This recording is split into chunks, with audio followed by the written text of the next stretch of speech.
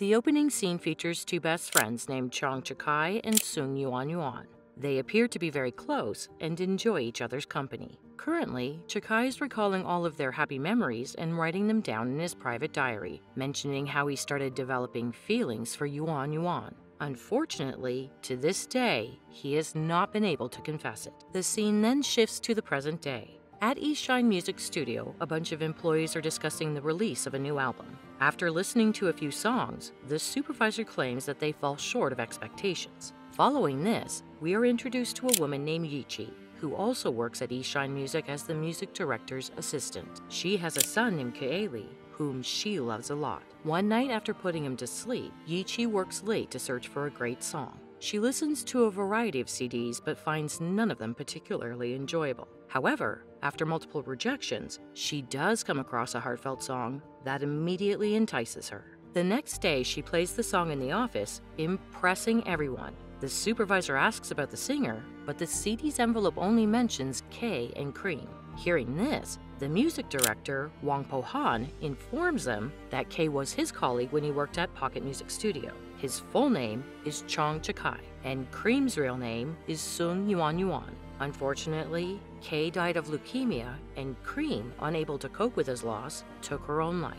Afterwards, the supervisor decides to release the song, so she instructs Pohan and Yichi to obtain its copyright. As a result, the two go to Pocket Studio, where they are given a list of Kay's songs, but they are unable to find the one they require. The employee tells them about Cindy, a photographer who has some of Kay's belongings. In hopes of locating the copyright, the two meet Cindy at her photo studio, but she is unwilling to provide them with Kay's belongings. After failing to persuade her, Yi Chi sneaks into Cindy's office that night and begins looking for the copyright papers. While she is at it, she discovers Kay's personal diary detailing his past. Upon reading it, Yichi learns that his father was about to close his music store as nobody wants to listen to sad songs. She also discovers that Kay had a close relationship with his father, who was dying of cancer. The scene then cuts to a flashback of Kay and his father driving home from the hospital. On their way, his father hands him a music CD and recommends that he listen to it. Unfortunately, their vehicle collides with another, causing a serious accident. Despite their critical condition, the father and son survive,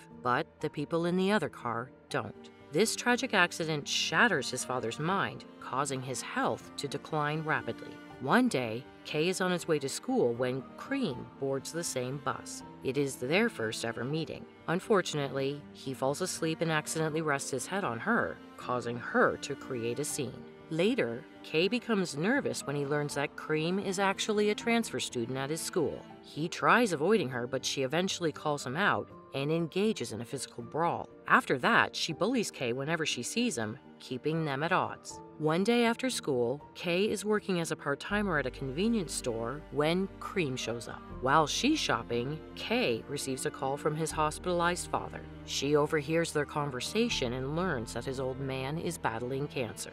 As a result, Cream feels bad for him and decides to stop bullying him. The following day, she brings him some food, leaving him in utter shock. Later that evening, Kay goes to see his father in the hospital. Unfortunately, the latter is in deplorable condition, and this makes Kay faint on the spot. Back in the present, Yichi finishes reading, puts the book in her bag, and prepares to head home, when suddenly, Cindy hits her from behind with a rod, knocking her unconscious. She then reports Yichi to the police station, where she is charged with violating the law. When Pohan finds out about this, he rushes to the police station, apologizes to Cindy, and somehow manages to get Yichi released. Upon returning home, Yichi resumes reading Kay's diary, continuing the flashback. Kay awakens in the hospital only to learn that his father only has a few days to live. Shortly after, his mother shows up to see her ex husband. While speaking with Kay, she says that his father won't be in pain after he dies. Kay realizes that his mother wants everything to end soon, which breaks his heart. He then walks out of the hospital and finds Cream beating up a woman on the street. He rushes to stop her, and they all end up at the police station. Not long after, Cream's aunt arrives and tries to persuade the cops into letting the girl go. She goes on to mention that Cream's parents died a while back, shattering her heart. Hearing this, Kay realizes why she behaves coldly. He is now able to see the pain and loneliness in her eyes, even though she isn't crying. It is also revealed that the people who died in the previous accident involving Kay and his father were none other than her parents. That night, Kay and Cream are at a park when he asks her why she was beating the woman. She responds that the woman was her father's mistress, and at the time of the incident, she was berating him on the call. The following day, Kay is sleeping in class when the teacher informs him of his father's death. Distraught, he rushes to the hospital and bursts into tears. After the funeral, Kay's mother hands him some money and apologizes to him for not being able to stay with him. Kay, who can't afford to lose her, pleads with her to stay, but she ultimately leaves after one last hug. At present, Yichi feels very sad after learning all of this, so she goes to bed and tightly hugs Kaylee.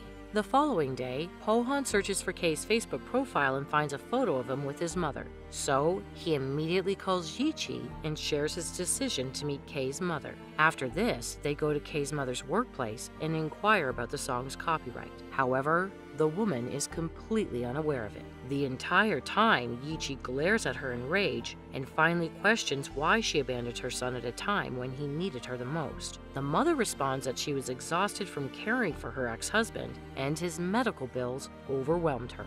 She didn't want to be in the same situation again, so she left. Yichi becomes enraged and storms away, claiming that she does not deserve to be a mother. On the way home, Yichi is reminded of the time when she was pregnant and how her boyfriend told her to abort the baby. While in the hospital, she tried to contact her boyfriend several times, but he didn't respond. As a result, she finally texted him to say that it's over, and she decided to raise the baby as a single mother. But things aren't easy for Yichi because Kaylee was born with a complicated congenital heart defect and has had four surgeries up to this point. Currently, Yichi is in the hospital where the doctor informs her that Kaylee's pulmonary artery is getting narrow, reducing oxygen levels. He also mentions that the child must undergo another surgery with only a 40% chance of success. Pohan, who is aware of this, sympathizes with both mother and son. Afterwards, he too begins reading Kay's diary on Yichi's recommendation. Once more, the scene shifts back to the past, where Kay considers selling his house as it's too big for him to live alone. When Cream finds out about this, she decides to move in with him, preventing him from selling the house. Coincidentally, it's her birthday, so she brings a cake. Before cutting it, she makes a couple of wishes and asks him to make a third one. The two then share the cake and begin having fun until they lay down and start talking. During this, she expresses that her English name is Cream and that she will now refer to him as Kay. When he asks her the reason, she says it sounds more like a family, and they're now a family. Kay is overcome with emotion because his third wish was to have his family back.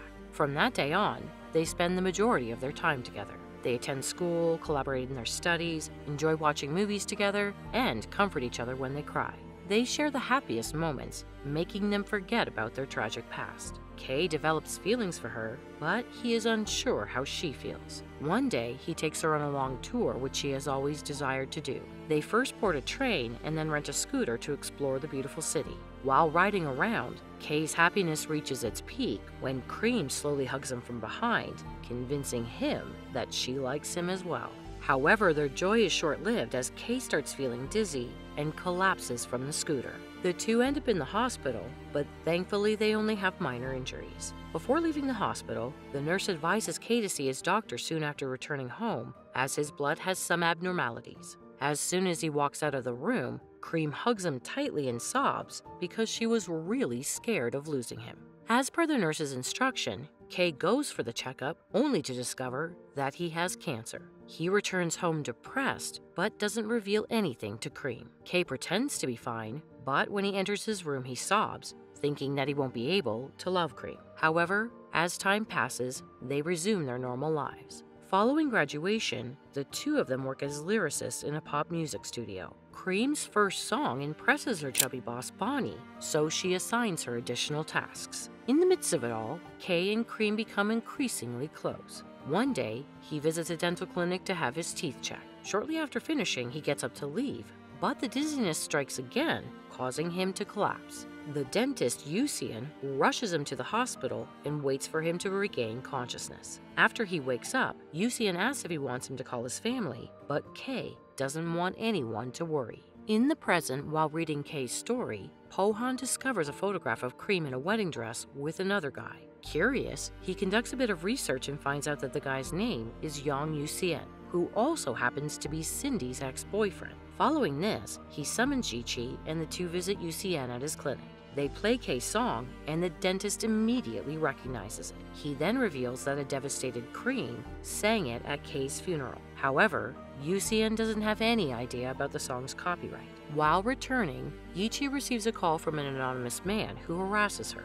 She wonders why she keeps getting such frequent calls, and Pohan asks if her son knows how to use the phone. This makes her realize that Kaylee is behind all this, so she confronts him as soon as she gets home. After asking several times, Kaylee reveals he wants to find a boyfriend for her because he is scared that she will have no family after he dies. Hearing this, Yiqi is taken aback for a moment, but she quickly hugs the little boy and consoles him that everything will be fine. In the next scene, we see Cindy and Yusien's love story. They first meet at a photoshoot event and then run into each other by chance at a park. During their conversation, an elderly gentleman accidentally bumps into Cindy and spills his coffee on her clothes. In order to help her, Yusien invites her to his place and offers her his clothes. Later, Cindy appreciates his efforts and invites him to dinner, which makes him very happy. From that day on, they start seeing each other more frequently, and at one photo gallery event, Cindy holds his hand finally beginning their relationship. As the days pass,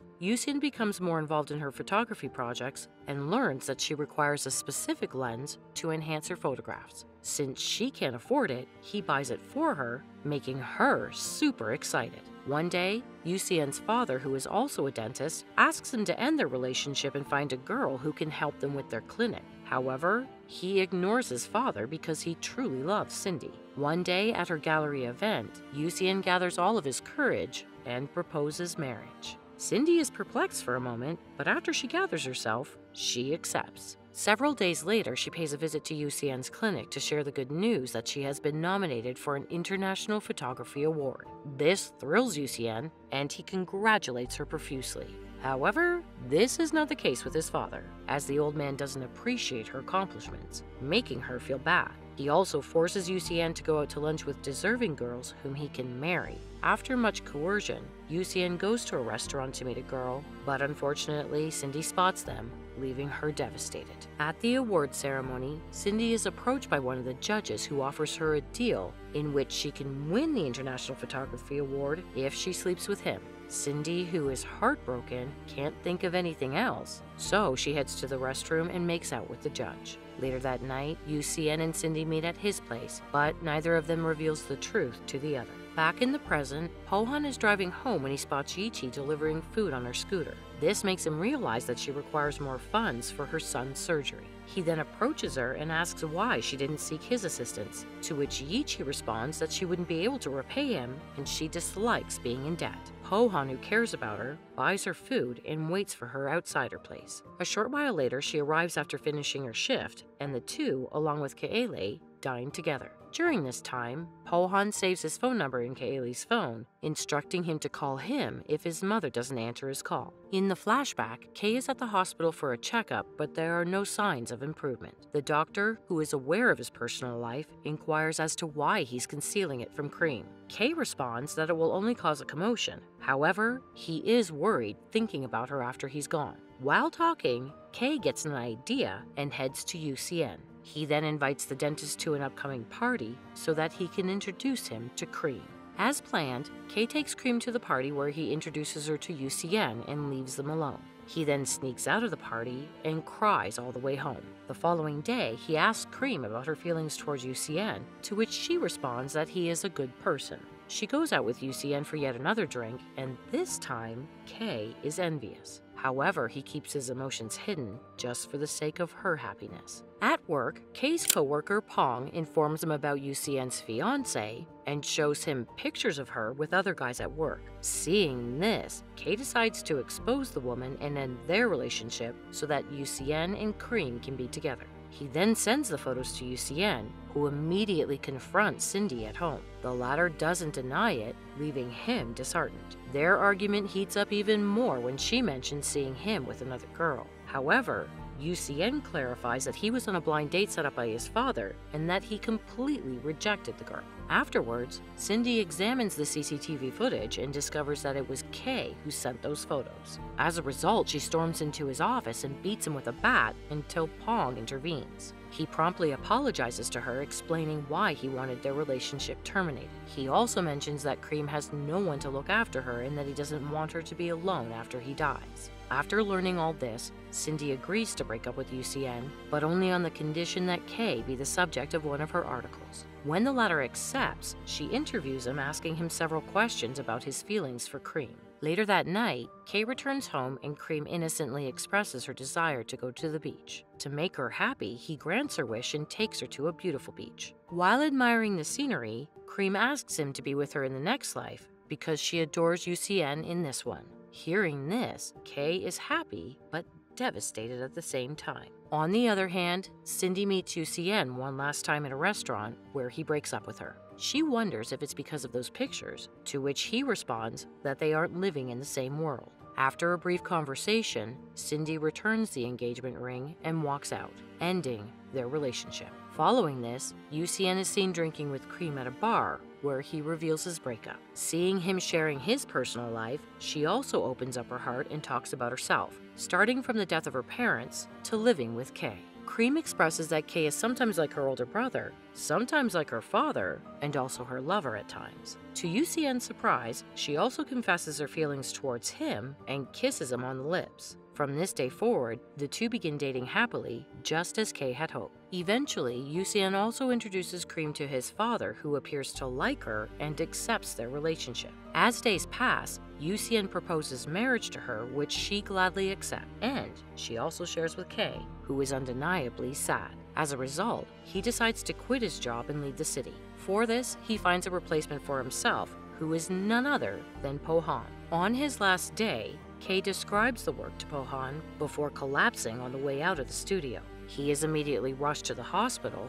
and Cream arrives shortly after. She asks what happened, but Kay plays it off. He even signals the doctor, who lies that it's just a calcium deficiency and that there's nothing to worry about. The story returns to the present scene, and we see Kaeli doing his homework. Suddenly, he feels a sharp pain in his chest, making it difficult for him to breathe. He texts Po Han, who rushes as soon as he receives a text for help. Upon arriving there, he finds the kid to be okay, and Kaeli lies that he summoned him only to assist him with his homework. One night, while scrolling through Kay's Facebook profile, Po Han comes across a photo of Cream on a Kenting beach. He suddenly recalls that Bonnie is from Kenting, so he deduces that she and Cream were friends. Po Han then decides to visit her, and he takes Yichi and Kaeli along with him. After a few hours of driving, they arrive at Bonnie's place, but learn that she is on a trip to the mountain. With little choice, they decide to stay there for a few days and wait for her. During this time, the three of them spend quality time together as Po Han plays the guitar and Yichi sings a song at Kaeli's request. That night, Kaeli asks his mother if she likes Po Han, but she believes that she isn't good enough for him. The kid claims that it makes no difference if the two of them are in love. After this, he falls asleep, leaving Yichi lost in her thought. The next day after breakfast, Po Han takes the mother and son to the same beach where Kay once took Cream. They all have a great time and even take pictures to post on social media. Later, Yichi thanks Po Han for taking them out because Kaeli always wanted to go on trips, but she couldn't take him. She goes on to say that if her son was healthy, she would take him to the amusement park, but he is unable to run around and have fun like other kids. She also expresses her concern about Kaeli's surgery, which is scheduled for next week. Po Han simply suggests that she be optimistic because Kaeli loves her a lot. While they are talking, some nearby people start shouting for help as Kaeli appears to have fainted. Seeing this, Yichi immediately dials 911 while Po Han performs CPR. In the next scene, Kaeli is rushed to the hospital where he regains consciousness after a few hours and finds Po Han in front of him. For the first time, the boy opens his heart and admits that he is terrified that he will not make it and that his mother will be alone. He bursts into tears, expressing his desire to be with his mother forever. Po Han, who is helpless, tries to console him with a hug. Yichi overhears everything from outside, causing her to sob. In the past, we see Cream take Kay to a clothing store to try on her wedding dress. When Kay sees her in the white dress, he can't take his gaze away from her. She also makes him try on the groom's outfit, and the two take a photo together. Kay feels very low and is unable to control his emotions, so while she goes inside to try on another dress, he runs away. After running several miles, he cries out loud, thinking how unlucky he is. One night, Cream asks Kay to assist her in practicing the wedding routine, so Kay proposes to her and she accepts. Regardless, he is depressed on the inside, convinced that this moment will never come true. On the wedding day, Kay walks Cream down the aisle and reluctantly hands her over to Yusian. He then turns around to hide his tears and walks out, crying. Several days later, Kay passes away, leaving everyone in tears. At his funeral, Cream appears distraught and she is unable to think of anything. After the tragic incident, she does not appear to be mentally stable. In the next scene, we see her at Kay's place going through his belongings. During this time, she discovers a necklace that appears to have been purchased for her. In addition, she also finds a letter in which Kay had expressed his true feelings, saying, I like you. Seeing this, she can't stop her tears and sobs uncontrollably. Then one day, Yusian cannot find his wife, making him very worried. Cream is seen standing on Kenting Beach, where she walks towards the sea and takes her own life, ending a heartbreaking love story. Presently, Kaylee is being taken to the operating room for another heart surgery. After several hours of surgery, the doctor walks out to inform Yichi that her boy's heartbeat is still not steady and that they must keep him under close observation. Not long after, Yichi and Pohan notice the doctors and nurses rushing towards Kaeli's room. The two pursue them only to discover that Kaeli's heart isn't responding. Disheartened, Yichi bursts into tears and attempts to go to her son, but she is not permitted to enter. The doctors do everything they can to restore Kaeli's consciousness, but sadly, the child dies. Days pass and we see Pohan looking at Kay's Facebook profile. He begins sending messages to the late Kay, mentioning that he has learned how painful it is when someone they love the most leaves. By reading the story of Kay and Cream, he started believing that one can feel happiness and sadness at the same time. He continues to write that he wants to be on Yichi's side and walk through her pain with her, but he doubts if he is worthy. Pohan also wonders why his heart aches when he sees her crying. Shockingly, he receives a response from Kay's account, advising him to confess his love without any regrets. Perplexed, Pohan immediately calls Bonnie and learns that Cream is actually alive. Here, we discover that she was alive all along, and only Bonnie knew about this. The next day, Pohan and Yichi meet Bonnie and ask her why she hid the truth about Cream's survival. Bonnie responds that Cream didn't want to exist anymore. Following this, Bonnie discusses the day Cream attempted to take her life. She did dive into the water, but thankfully some people rescued her and rushed her to a nearby hospital. Bonnie, who was in Kenting at the time, went to the hospital and stayed with her until she regained consciousness. As soon as she awoke, she began crying, remembering Kay. Bonnie somehow managed to persuade Cream to stay strong, saying Kay would never want to see her in such a state. Bonnie continues to reveal more about the past, and the film flashes back to a scene in which Cream goes to Kay's room to find his music book. During this, she discovers medicine in his hospital report, which enlightens her about his cancer. This breaks Cream's heart, but she keeps it to herself and doesn't let him know that she is aware. It is also revealed that the only person Cream truly loved was Kay, but she also decided that if her happiness is Kay's last wish, she will help him in achieving it. As a result, she started dating Yusian and did her best to show Kay that she was content. That night, when Kay left the bar after introducing her to Yusian, she didn't stay there for long and followed him secretly. Cream had convinced herself that she would tell him everything and embrace him wholeheartedly if he turned around. However, Kay never turned around, so she kept playing her part even though it hurt her. This is the reason why she told him to be with her in the next life and decided to marry Yusian against her will. Cream had always admired Kay, which is why she asked him to dress up as her groom and propose to her. When he obliged, Cream felt that she got married to the person she loved the most. That's why on her wedding day she had the courage to turn her back to him as she walked down the other end of the aisle. In the current timeline, Pohan and Yichi finally receive the elusive copyright to the song. After this, Yichi decides to resign and talks to Pohan about it the next day. When he asks for the reason, she claims that it has been very tiring for the last few days and that she needs a break. Pohan offers her a vacation and unlimited holiday as he is unwilling to let her go. Despite this, she sticks to her decision. In the next scene, Pohan's ex girlfriend Lena, who is an actress, returns and invites him for dinner. Following this, the two meet at a restaurant where she informs him that she has quit smoking, drinking, and losing her temper. Lena also apologizes for the mistakes she made in the past that led to their breakup. Furthermore, she expresses that she still loves him and wants to be with him. However, Pohan does not appear to be ready for this and rejects her proposal. Lena tries her hardest to convince him, but when she fails, she grabs a knife and prepares to harm herself while begging him to stay. Pohan tries to calm her down and approaches her slowly to take the knife from her, but during their brawl, she accidentally stabs him, causing him to bleed. Following this, Pohan is transported to the hospital while the police arrest Lena.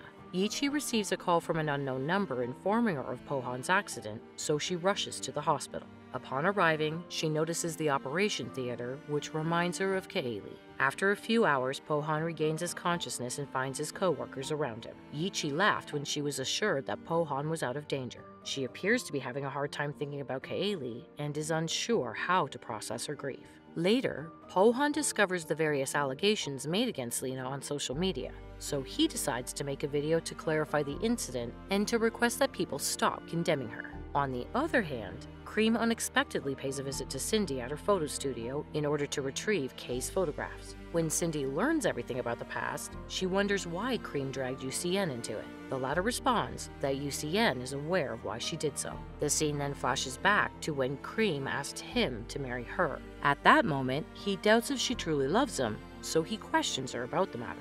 After being called out, Cream reveals her reasons, including Kay's disease, and pleads with him to marry her. She also assures him that she will leave as soon as Kay rests in peace. Afterwards, Cream pays a visit to Yusian and the two embrace warmly. She apologizes to him for disappearing without a trace, but he says not to be sorry because he is glad that she is okay. The two then talk for a while, during which Yusian shares his decision to reconnect with Cindy. Meanwhile, Lena visits Pohan in the hospital and apologizes for everything she has done in the past. This time, instead of begging for his love, she asks to be friends for life, which he agrees to. Finally, the two hug each other, ending the divide between them. The following day, Yusian goes to Cindy's photo studio for a private talk, but he is sad to see her with another guy. Regardless, he admits his feelings and expresses his inability to get over her. Before leaving, Yusian assures her that he will no longer bother her because she already has a steady boyfriend. When Cindy hears this, she clarifies that the guy is her manager and that she does not have a boyfriend. This news makes him more than happy, so he invites her out to dinner. A few days later, we see Yusian waiting for Cindy in a restaurant, and he seems nervous thinking that she might not show up. But his assumptions are proven wrong when she arrives, making him relieved. The two begin their conversation about resuming their relationship, and both are content to do so. Meanwhile, after being discharged from the hospital, Pohan tries to call and text Yichi numerous times, but he receives no response, which worries him. He then goes back to work where his supervisor tells him about Yichi. It turns out that she had come into the office to resign. She also talked about her future plan to visit Kaeli's favorite place. Hearing this, Pohan realizes where she is and rushes to her. After a long drive, he arrives at the same hotel in Kenting where they previously stayed. Pohan locates her near the pool, looking at Kaeli's drawing. Upon seeing him, Yichi starts to cry and expresses how much she misses her son. Pohan does not have any words, so he just comforts her with a warm hug. Following this, the two of them sit on a beach and talk to each other. Yichi asks why he became a musician, and Pohan responds that he wishes to dedicate his song to the one he loves. He then asks if she wants to hear his new song, to which she agrees. It appears to be a sad romantic song, and as he plays it, flashbacks show the beautiful love story between Kay and Cream. Just after the song ends, Pohan and Yichi kiss each other, beginning a new love story. In the past, Kay is admitted to the hospital where he looks at his wristband, the one he shared with Cream. A few moments later, his mother pays him a visit and apologizes for abandoning him at a time when he needed her most. Kay, who is nearing the end of his life, forgives her, and the two share an emotional hug. He then asks how she knew he'd been admitted to the hospital, to which she lies that she heard it from one of the doctors. But in reality, it was Cream who slapped her for being cold to her son and told her to see him. Not long after, a nurse enters Kay's room to take his blood pressure, only to discover that the patient has passed away. The nurse hurriedly calls the doctor to inform him of the situation, and Cream, who has just arrived there, is devastated to hear the news. In the present, Pohan and Yichi return home and begin working on releasing Kay and Cream's final song, The Saddest Thing, which reflects their final moment. While recording the song, we are shown Kay and Cream celebrating her birthday one last time before his death. This time, as a birthday wish, Cream emotionally asks Kay to find her in the next life as soon as possible because she is poor with directions and may get lost. They then share an emotional moment and take a picture together before he passes out. As soon as the song is released, it becomes a huge hit, and we see Cream reflecting on her years she spent after Kay's death. She narrates that people may have thought she was alone for all those years, but in her world, there were always two people Kay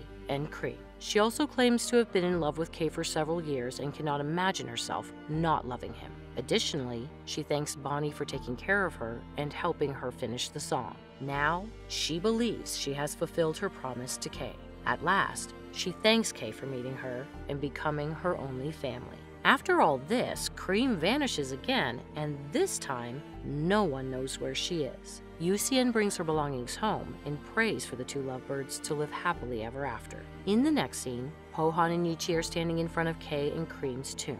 Pohan narrates that although the two are gone, their story has turned into a melody that will remain in their place forever. He goes on to say that their story made him realize that things still exist even after they disappear. Pohan has also learned that even in sadness, one can be brave enough to embrace all of life's happiness and sadness. He no longer believes that a sad story can't have a happy ending. At the end, we see Cream waiting on a beach until Kay arrives and embraces her with all his love, happily reuniting them.